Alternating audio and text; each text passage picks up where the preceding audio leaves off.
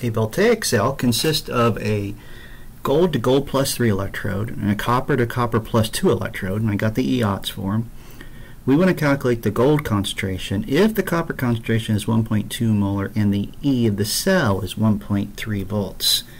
So we're going to be using our full Nernst equation. I'm writing this out to actually keep track of the things we need to look up for this one. Alright, we're going to need to figure out our E of our cell and the balanced equation so we can get our Q. So I'm looking here and my smaller values well, I'm going to turn into my anode.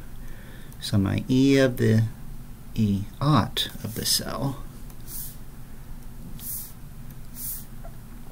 is going to be that 1.50 and then we'll add the inverse sign, so 0.34.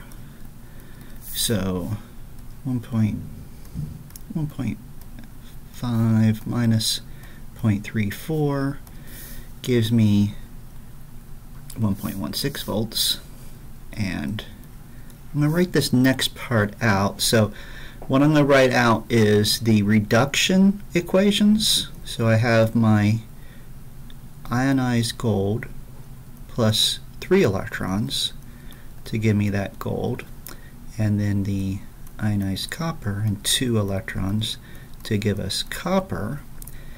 And we decide to make the copper our anode.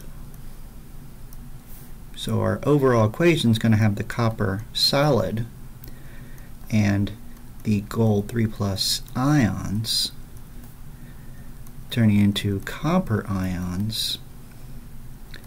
And gold solid and I skipped a step get these these electrons to balance out I need to multiply that by 2 and this by 3 so I need to have 3 coppers on both sides and 2 golds and I caught that because my charges didn't work out. Alright, so I have my balance equation, so I can get my Q. My Q will be the copper ions cubed over the gold ions squared. I have my E aught, and my N will be, got the two electrons and three electrons, so six. So I can start putting things together. I have the 1.13 volts for my E of the cell, 1.16 volts for the E aught minus the R. I'm not going to write it out because I'm going to run out of space otherwise, but it's that 8.314. The temperature will be 298 Kelvin. The N is going to be 6 moles of electrons. And I'm just going to write Faraday, F for Faraday.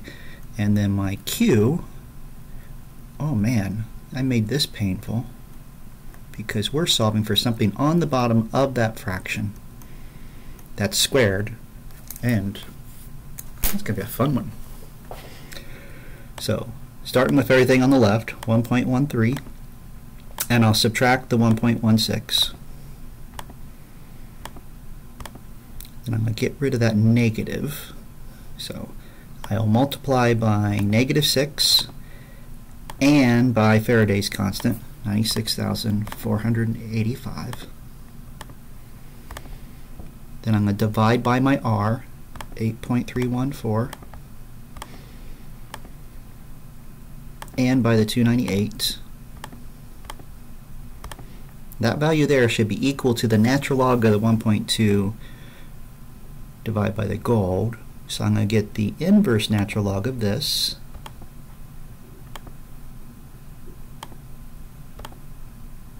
All right. and now I will divide by 1.20 cubed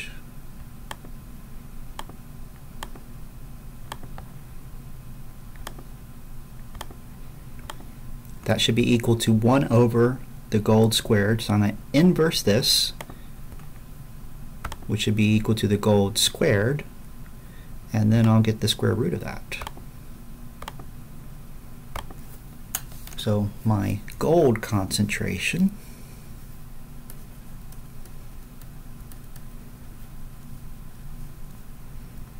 should be, I should be able to do three significant figures. Should I be able to? Now, because when I did that subtraction, that would have just been, no, that doesn't work that way. We're good there. Yeah, I should be able to do three significant figures, so 0.0395 molar.